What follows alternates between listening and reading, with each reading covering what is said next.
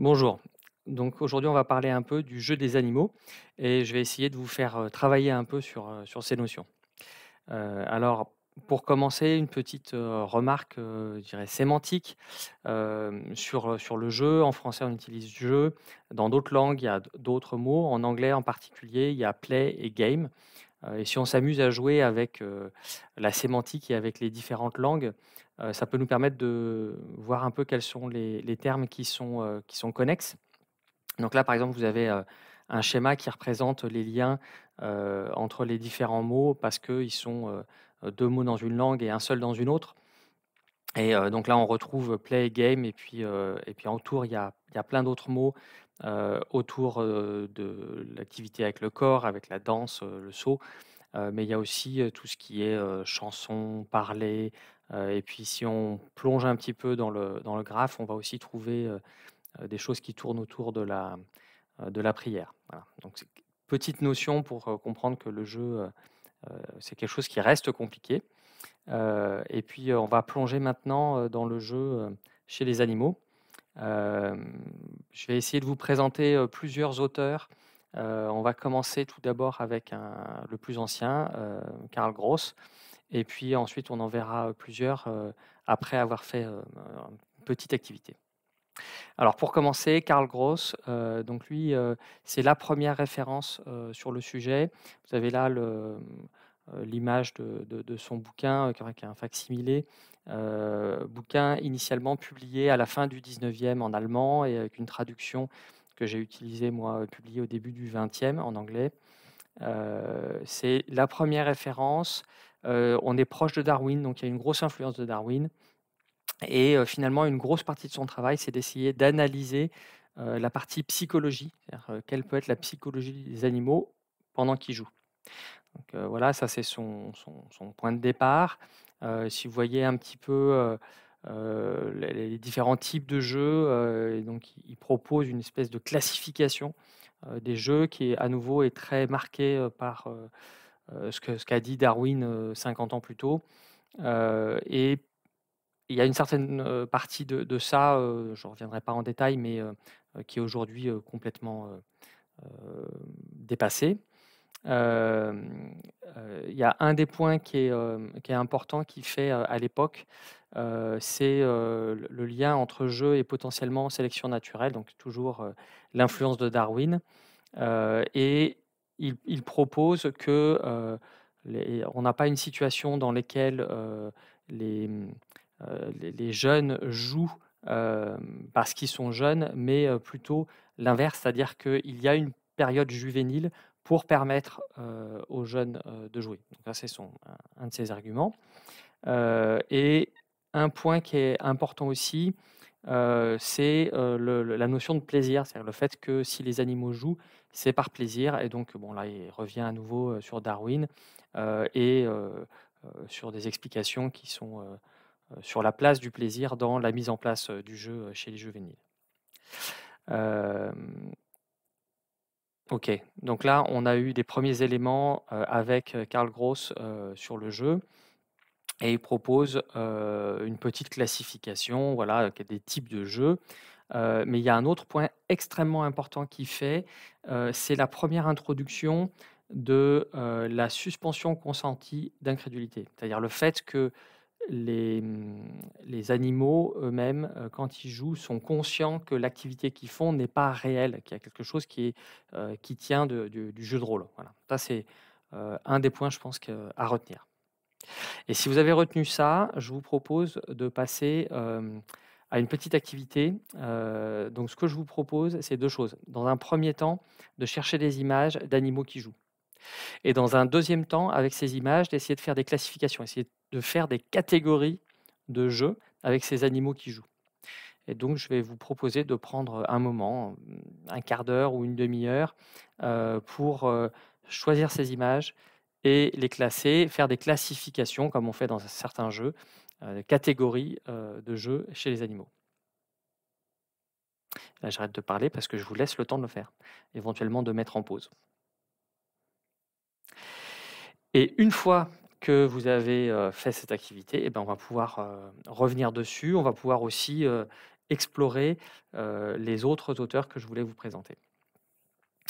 Alors, commençons avec cette recherche de photos. je vais vous proposer quelques exemples et, une des questions que je me pose, c'est est-ce que vous aviez des exemples de tout ce que je vous présente et éventuellement est-ce que vous avez découvert des formes de, jeu que, dont vous n'aviez pas forcément conscience avant de démarrer l'exercice? pour, pour continuer à explorer et, pour bien analyser ces photos, on va s'appuyer sur un autre auteur, Burkhardt, qui est évidemment beaucoup plus récent, euh, et qui a euh, produit un livre qui est une, référence euh, récente sur l'analyse du jeu chez les animaux. et lui propose, pour analyser le comportement des animaux, d'identifier cinq critères.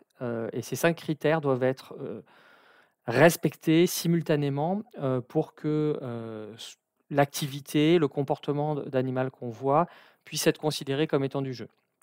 Donc la première, c'est la fonction immédiate, limitée et incomplète. donc ça, ça permet d'écarter tout ce qui est la chasse, que qu'on soit du côté du prédateur ou de la proie, tous les comportements qui sont liés à la prédation, d'accord, mais aussi à la reproduction. Voilà, donc tout ce qui rentre dans la, la survie de l'espèce va être écarté. le fait qu'il y ait une composante endogène, c'est ce deuxième point. Et ça, c'est, on revient sur la notion de choses qui sont faites de manière spontanée. Euh, troisième élément, les variations structurelles et temporelles. Euh, ça, ça permet d'écarter tous les comportements prototypiques, typiquement ce qu'on voit chez les animaux qui sont euh, enfermés, y compris dans les, dans les eaux. donc un animal qui tourne en cage, qui a ces, gestes absolument stéréotypiques. c'est voilà, ça c'est pas du jeu. Euh, c'est des comportements qui sont liés au stress. Et donc, on les élimine avec cette, euh, euh, ce critère de, variation structurelle et temporelle. néanmoins, il faut que ça soit une action répétée, qu'on n'a pas observée une seule fois. et donc voilà, des actions qui sont répétées, qu'on voit de manière similaire, mais pas strictement identiques et stéréotypées. Et enfin, dernier élément, c'est un environnement relaxé. Finalement, on joue quand on a satisfait à ces critères pour survivre, quand on n'est pas sous la menace d'un prédateur qu'on a mangé, qu'on s'est reposé, et ainsi de suite. Voilà. Donc ces cinq critères-là permettent de déterminer si oui ou non on a affaire à une situation de jeu. Et ça peut permettre par exemple de réanalyser les photos que vous aviez identifiées et décider si oui ou non ça correspondait à du jeu. Et puis peut-être ça peut vous permettre aussi de commencer tout doucement à, reclasser les choses. Euh, et donc lui, il propose trois types de jeux euh, principalement, trois grandes catégories. donc le jeu qui est social, c'est-à-dire évidemment avec au moins deux individus. les jeux qui sont locomoteurs, et puis ceux qui concernent des objets. Voilà. Donc la, première question, comme je disais tout à l'heure, c'est de savoir si, si vous aviez ces trois catégories-là, éventuellement si vous en avez qui sont, qui sont des sous-catégories ou des choses auxquelles vous n'aviez pas pensé au départ. un des points importants que fait Burghardt, c'est qu'il analyse le jeu chez tous les animaux et pas seulement chez les mammifères, pas seulement chez les vertébrés, et, là, il y a un tableau qui montre l'analyse qui est faite chez un certain nombre d'invertébrés, des, fourmis, des abeilles, des cafards, et puis des, céphalopodes. et qu'est-ce qu'on voit? C'est que les critères dont on a parlé, ils sont parfois on n'est pas capable de répondre à, la question, mais quand on peut répondre aux questions, on a plutôt une série euh, de, réponses qui sont oui. donc, par exemple, pour l'abeille, on peut très clairement euh, parler de jeux locomoteurs euh, où on a les cinq critères qui sont, bien respectés. et donc ça, ça fait partie potentiellement des exemples auxquels vous n'aviez pas pensé au jeu chez les abeilles. Si, on fait cette analyse chez tous les animaux et pas seulement chez les mammifères, on voit que effectivement on retrouve, comme on pouvait s'y attendre, euh, le jeu chez les, chez cordés, les mammifères, euh, euh, d'autres vertébrés comme les, oiseaux ou, les, reptiles. On le retrouve aussi chez des mollusques, chez des crustacés, chez des insectes. et ça, ça suggère que puisqu'on le retrouve très largement dans, l'arbre de la vie, il y a potentiellement un élément d'évolution qui a conservé le jeu chez les différents animaux. Et donc, là, on arrive aux illustrations de jeux auxquels vous n'aviez pas forcément pensé. Et donc là, on a, donc j'ai une photo d'abeille qui n'est pas strictement la, photo qui illustre le jeu chez les abeilles. Chez les abeilles, l'activité de jeu consiste chez, certains individus à se jeter devant la, ruche, à se laisser tomber et à se rattraper juste avant le sol et à faire ça de manière relativement répétée. Et c'est une activité pour laquelle on n'a aucune autre explication qu'une activité de type, de type jeu. Autre exemple que je peux vous proposer, que peut-être vous n'aviez pas identifié, c'est des, jeux chez des individus seuls avec un objet. Et là, en l'occurrence, l'objet, c'est un objet qui est fabriqué par l'individu. Donc, on parle de, euh, de Beluga et euh, le fait qu'ils fabriquent des bulles et ensuite ils jouent avec cette bulle-là. Par exemple, ils font un cerceau, ils vont passer dans le cerceau. Donc voilà, donc quand on parle d'objets, on parle d'objets manufacturés, mais pas seulement, et y compris des objets qui sont faits par ces animaux non humains. donc là, avec un, jeu chez, chez les mammifères marins. Encore un autre exemple, on revient chez les abeilles. C'est une expérience qui a été faite récemment, l'année dernière, par des collègues qui ont proposé une expérience qui permet de, montrer un jeu avec un objet chez les abeilles. Et, donc, a priori, ce comportement d'abeille qui déplace une bille dans un espèce de, labyrinthe est un comportement qu'on peut difficilement expliquer autrement que comme étant un jeu. Donc là, évidemment, ce n'est pas l'abeille qui a, qui a construit la bille en question. Encore un exemple, une expérience qui a été faite avec des, rongeurs cette fois, avec des rats. Il y a des collègues qui se sont amusés à, jouer à cache-cache avec des rats. et ils ont pu donc apprendre à ces rats à jouer à cache-cache, à être dans un cas l'individu qui se cache, dans un cas l'individu qui essaye de chercher l'humain avec lequel ils sont en train de jouer. Donc voilà, il y a tout un, tout un protocole et ils ont pu observer des choses supplémentaires. D'abord, ils ont pu mesurer les vocalises qui sont faites par ces, ces, animaux. Ils ont pu donc déterminer que les vocalises étaient différentes dans le cas où le, rat se cache et dans le cas où il est en train de chercher l'humain avec lequel il, est en train de jouer et donc, ils ont pu déterminer grâce à ça que, a priori, l'animal était plus excité et donc prenait plus de plaisir quand il était dans la situation d'être en train de se cacher que quand il cherchait l'humain avec lequel il jouait. donc ça, c'est premières indications qui sont intéressantes. Puis d'autre part, comme c'est des animaux sur lesquels on peut aller un peu plus loin sur l'expérience, ils ont pu mesurer l'activité cérébrale en mettant des électrodes dans le crâne des, rats qui étaient en train de, jouer et donc ils peuvent montrer que l'activité cérébrale n'est pas la même dans le cas où l'animal se cache et dans le cas où l'animal est en train de chercher le, partenaire humain avec lequel ils sont en train de jouer. donc là, on a des indications très très claires sur le fait qu'il y a des activités de jeu, des activités de jeu qui finalement ressemblent très très fortement à celles qu'on peut avoir entre Homo sapiens. donc voilà, c'est des informations qui sont potentiellement intéressantes.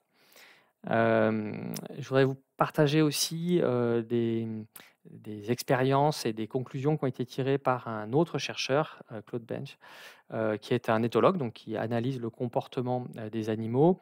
Et lui, il s'est particulièrement concentré sur le jeu social et essentiellement dans des modèles murins, donc avec des souris.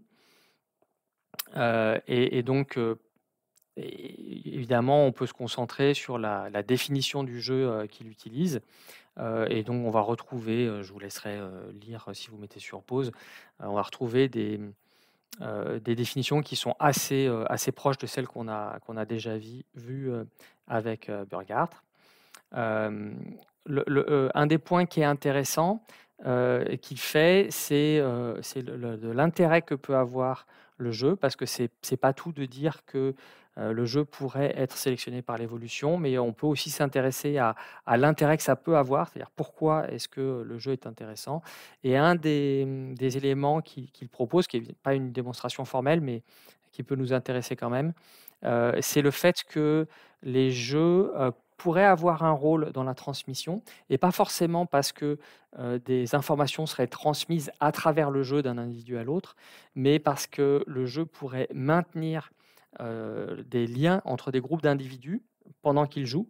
Et ces liens-là seraient utiles ensuite, heu, dans un deuxième temps, heu, pour faire, passer des informations d'un individu à l'autre. Et donc finalement, c'est une explication potentielle de type d'intérêt qu'il peut y avoir, du jeu en termes d'évolution.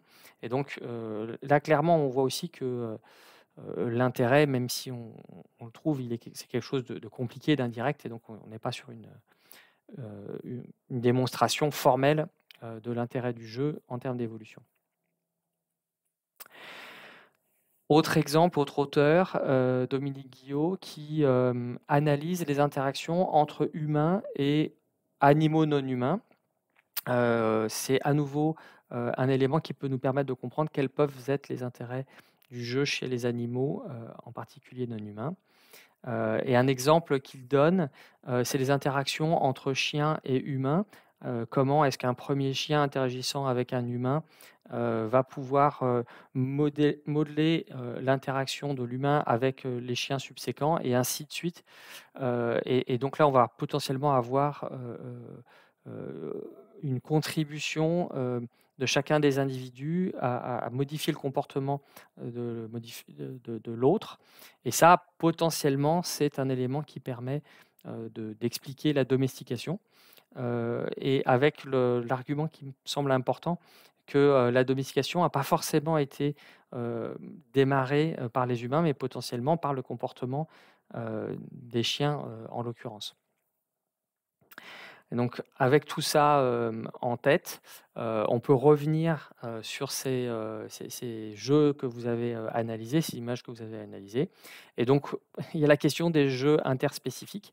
Et donc évidemment, je me pose la question de savoir si vous aviez des jeux interspécifiques, aussi si certains de ces jeux interspécifiques étaient asymétriques.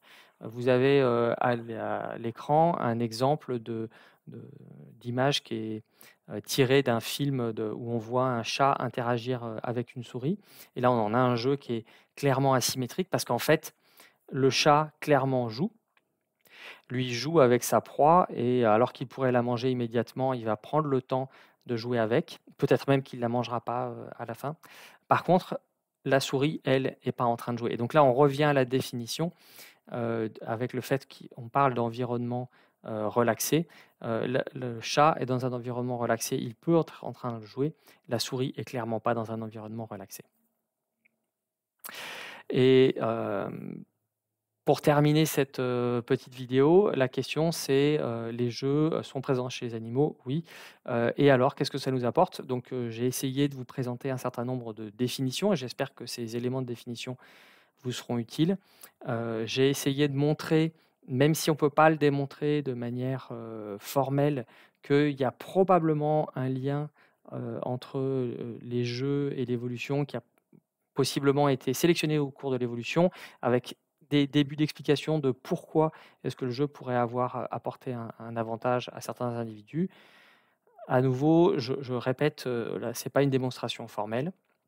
Mais c'est pas ce qui nous intéresse, en fait, aujourd'hui. Ce qui nous intéresse, c'est qu'il y a pas d'antinomie entre jeu et effet positif. Et donc voilà, dans le contexte de type jeu sérieux, c'est important de lever, le fait que c'est pas antinomique et et un point supplémentaire qui est important, c'est que ça n'implique absolument pas que les animaux, quand ils jouent, sont conscients de l'intérêt potentiel que ça peut avoir pour eux et encore moins qu'ils pourraient l'avoir fait parce qu'ils cherchent cet intérêt potentiel. C'est 2 choses qui sont, complètement, heu, déconnectées pour l'individu, même si ça peut être lié d'un point de vue, heu, évolutif.